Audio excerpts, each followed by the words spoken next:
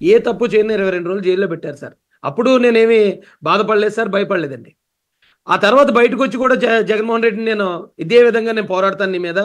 నువ్వు అరెస్ట్ చేసిన నా ధైర్యాన్ని నువ్వు దెబ్బకొట్టలేవయ్యా అంటే ఒక ఐదు రోజుల్లోనే నా మీద రౌడీ షీట్ ఓపెన్ చేసి నాకు ఏదో ఒక చిన్న అట్ట ఇలా పెట్టి ఫోటోలు తీసి ఈడు రౌడీ షీటర్ గాడీడని మొత్తం సోషల్ మీడియా అంతా రాష్ట్రం అంతా ప్రచారం చేశారు సార్.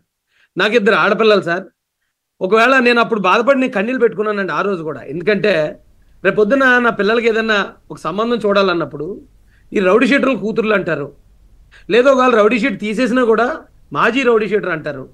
అంటే ఏ తప్పు చేయకుండా నా వర్గం తరపున జగన్ రెడ్డితో పోరాడితే నన్ను ఇంత దారుణంగా నన్ను నా పిల్లల భవిష్యత్తును కూడా దెబ్బకొట్టాడని ఆ రోజు ఒకసారి నేను పోలీస్ స్టేషన్లో వచ్చిన కన్నీళ్ళు పెట్టుకున్నాను సార్. తర్వాత బయటకు వచ్చిన తర్వాత కూడా నేను పోరాటం ఆపలేదండి. నేను ధైర్యంగానే అతని మీద పోరాడుతూనే ఉన్నాను. కేసులు పడతానే ఉన్నాయి. ముప్పై కేసులు దాదాపు ఇప్పటికి. కోర్టులకు తిరుగుతూనే ఉన్నాను. కోర్టుల్లో ఆ ఎగ్జామినేషన్స్ అని అవని ఇవని రోజంతా అక్కడే కోర్టులో పడిగాపులు నిలబడే పడిగాపులు కాస్తున్నాను. అప్పుడు కూడా నేను బాధపడలేదు సార్. కానీ ఎప్పుడైతే చంద్రబాబు నాయుడు గారు నాలాంటి ఒక సామాన్యుడికి అవకాశం ఇచ్చారో జగన్మోహన్ రెడ్డి అనుకుని ఉంటాడు సార్ ఇలాంటి అలగావుడు ఈడు రేపు పొద్దున్న అసెంబ్లీకి వచ్చి నన్ను ప్రశ్నిస్తాడా?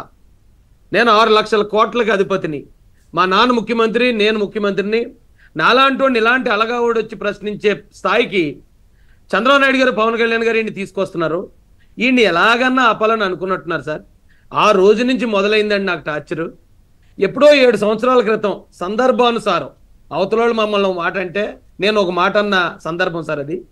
వాళ్ళ మాట తీసేసి నా ఒక్క మాటనే పెట్టి ఈయన కాపుల్ని తిట్టాడు అనేది ఒక ప్రచారం.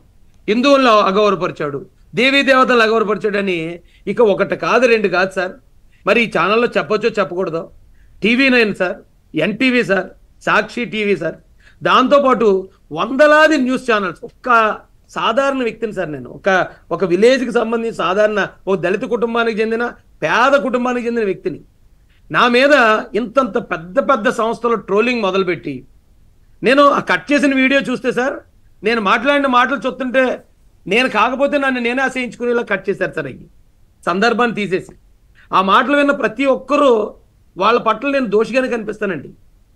నన్ను కేసులు పెట్టి నన్ను రౌడీ షీటర్గా ముద్రేసి జైలుకి పంపించి అయినా జగన్మోహన్ రెడ్డి